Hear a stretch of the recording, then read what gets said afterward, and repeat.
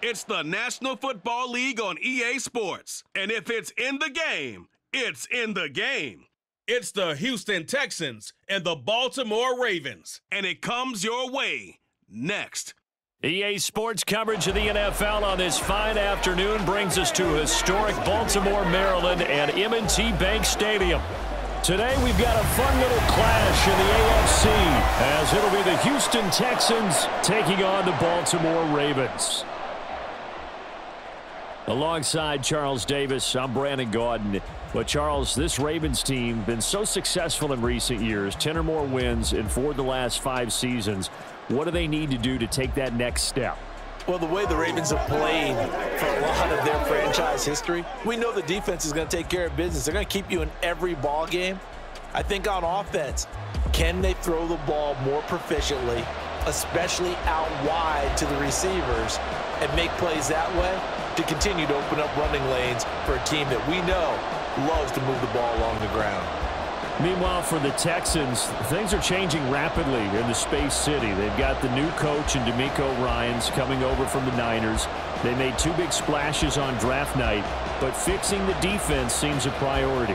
And remember the 2022 draft? They took a lot of guys on that side of the ball, so maybe we just need a little bit more seasoning with some of the talent that they've accumulated. So here's Kaimi Fairbairn to do the honors. And off we go from M&T Bank Stadium. A solid return, pretty good field position. They'll start at the 32. Here comes the Ravens on offense and the man in charge from Louisville, the former MVP, Lamar Jackson. And he remains the league's premier rushing threat and one of the biggest playmakers among quarterbacks. His goal each and every season, continue to expand his game as a passer and become well-rounded. All those highlight reel plays you see, they come off the fact that he can run it, throw it, and scares defenses every time he takes a snap. From the 32 now, here's first and 10.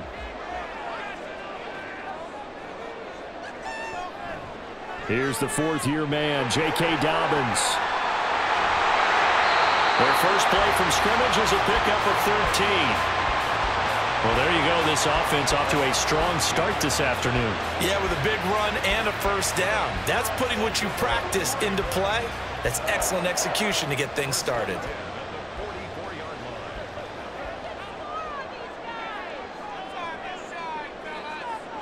Throwing on first down, it's Jackson. This throw taken in by Isaiah Likely. Will go down as a gain of six, and it'll be second down.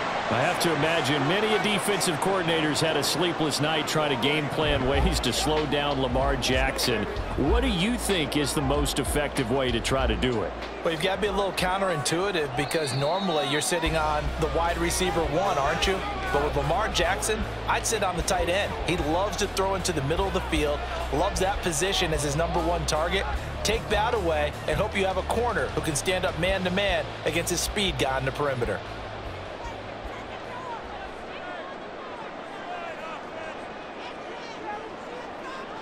Now it's Jackson. That's complete. It's Rashod Bateman. Now the Ravens going to use one of their timeouts as the stoppage will come with a little under a minute to go in this first half.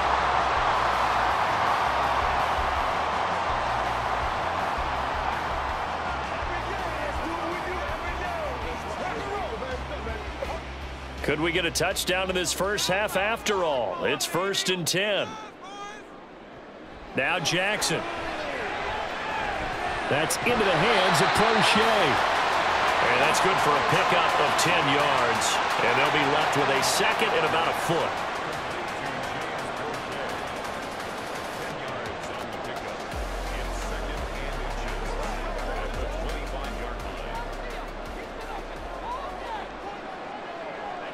To throw again is Jackson. A short throw caught by Andrews. And he will have a first down here as they get into field goal range as well down at the 17-yard line.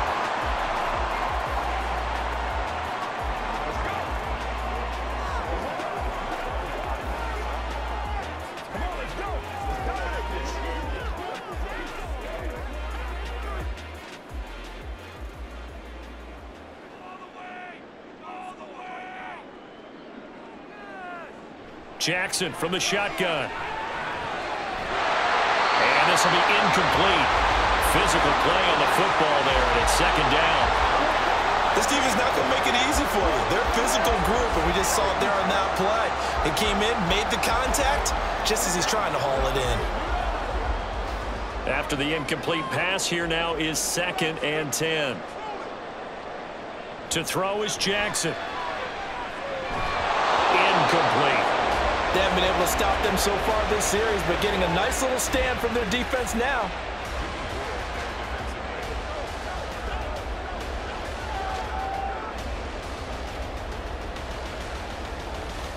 This offense was on the move. Now two straight incompletions have them looking at third and 10. Again, Jackson. He's going to be sacked back at the 23-yard line. Multiple players combined for their team's first sack of the game. Now a timeout signaled for, and they'll get it with 10 seconds to go before halftime. So this defense, they gave up some yards on this drive, but bottom line, they came up with a sack when it mattered. And we know that every down counts, but let's be honest about it. People focus on third down as a real key down in any drive, any situation, and they took full advantage of third down there and made a play. A 40-yard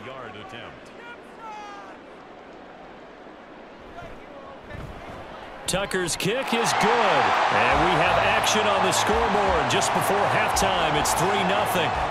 So a pretty good opening drive. That'll make the home fans somewhat happy. They wanted six, but they got three in the early lead. And they should be happy. The guys look good getting down the field. That's got to give them a little bit of hope that good things are in store here today for them.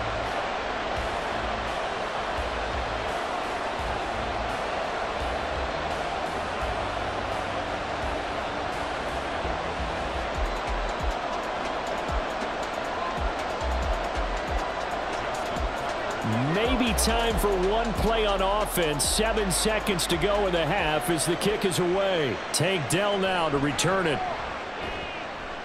And good coverage there on special teams as they'll get him down shy of the 20.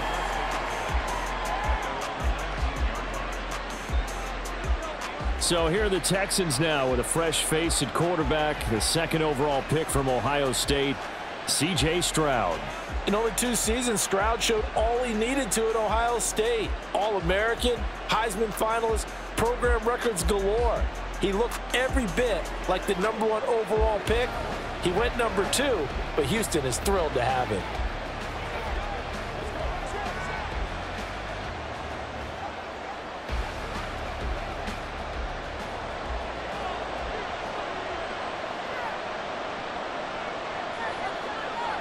All that remains is to snap this once, and that'll do it for the first half of play. So we've reached halftime. All we have to show for the first half, a lone field goal. 3-0 our score. As we'll send you down to Orlando, we check in with Jonathan Coachman for our EA Sports Halftime Report. Coach. Okay, Brandon, thanks very much. And welcome in everyone to our downtown Orlando studios and this EA Sports Halftime Report. This one's been all about the defense. Just a lone field goal in that first half. And as a result, not too much available in terms of highlights. But that's okay. We've got a full half to go. And to bring it your way, let's get back out to Brandon and Charles. All right, Coach, thanks. Yeah, both teams likely to make some changes in what's been a closely fought battle to this point.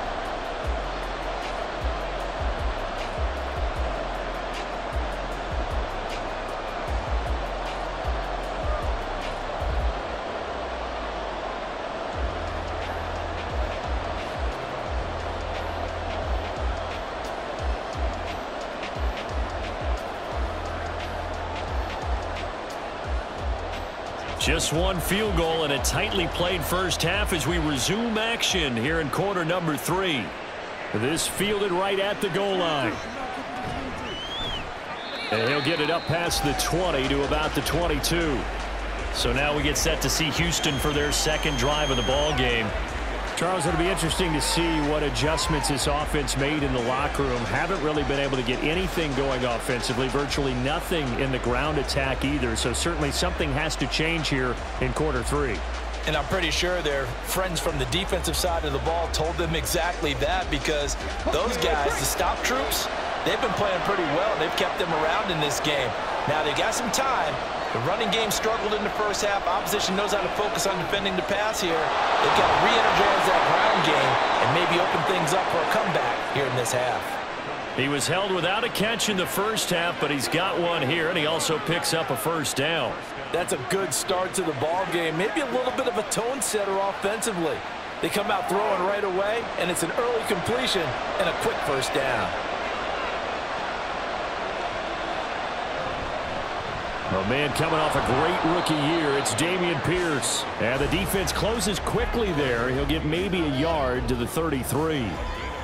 I have to think a major focus of the halftime meetings had to be figuring out how to create space for the running game to get operating. Well, what you pointed out to me at half seems accurate. That line has struggled to sustain blocks. Yeah, I would agree with that totally. They've got to focus on staying on their double teams at the first level, make sure that block's secured before they slide off and try and chip someone at the second level. And that is going to do it for this third quarter of action. You are watching the NFL on EA Sports. Back now in Baltimore. They'll come up now, second and nine. It's been a very hotly contested game to this point. Just a field goal separating these two teams. And he's free going down the left side. It's a foot race. On the move past the 40. What a time to come up with a play like that.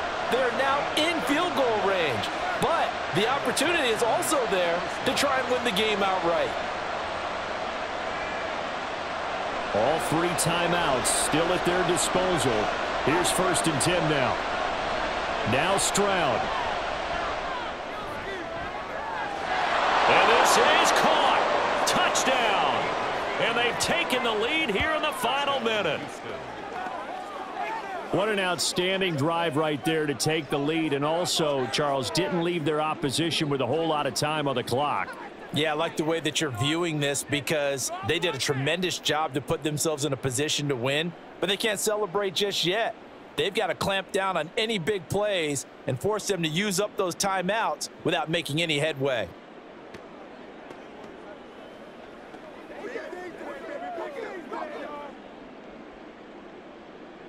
Kaimi Fairbairn on for the extra point. And this is up and good to make it 7-3. Just a four-play drive that time. And the result, a Houston touchdown.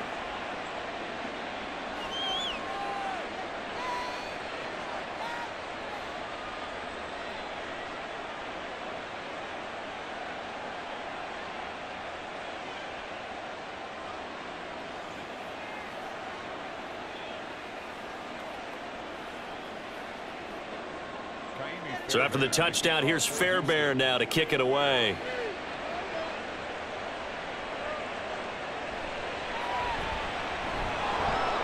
And he's up past the 20 to the 22-yard line. Jackson and the Ravens, here they come. Down 7 to 3, 25 seconds remaining. They need a touchdown. A field goal is worthless now as they come up on first and 10. Let's do this, man.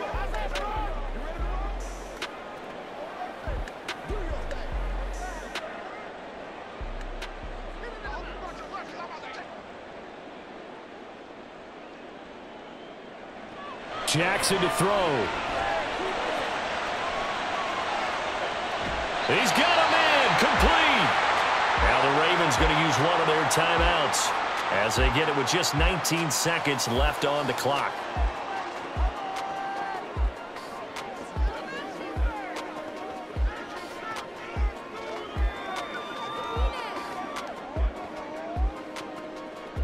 Two timeouts still in their back pocket. It's first and 10. Throwing. Jackson. That one complete to Proche. He's got room to roam. The Ravens going to use the second of their timeouts. That'll leave them with just one remaining in this fourth quarter of play.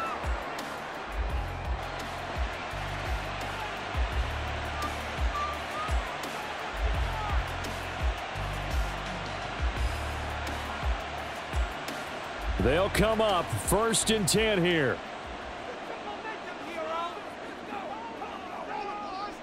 Jackson. And he's left with no option here but to throw it away. And we know that this crowd really wants to explode. What a win this would be.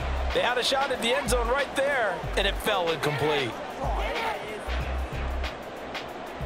12 yards between them and the end zone. Second and 10. Now Jackson. And that will be incomplete. Four ticks left here on the clock. And a great game comes down to this. Time for one play, and they've got to get it in the end zone. And I want every cover guy I've got in the game on defense, every extra defensive back who can make a play on the football. So whether it's nickel, dime, quarter, whatever you want to call it, I want five, six, seven guys back there. One last shot for Jackson. And he's across for the touchdown, and it's likely the game winner here in the closing stages. Charles, that drive was perfect, methodical, executed so well, and they grabbed that lead with almost no time left for a last gasp from the other side. No way you could have drawn up a better final drive because not only did they keep their eyes on the end zone, they made sure they bled the clock out as well and denied their opponent a chance to respond. That's just terrific situational football to end this one. Now an important extra point here to stretch this lead to a field goal. He's got it, and this is indeed up to a three-point lead. So that drive spanned five plays. And it ends with what most likely will be the game-winning touchdown.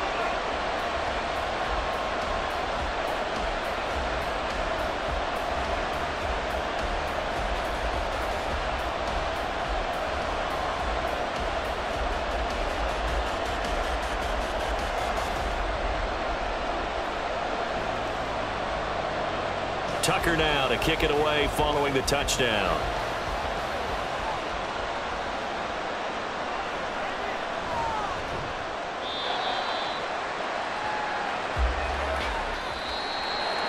Well, this one, partner, was fun down to the very end. They got the points late, right before the whistle. Then the ensuing kickoff. They were hoping for magic on the other side, but couldn't get that spark. Fun if you won, and fun for us because we got to watch it and call it.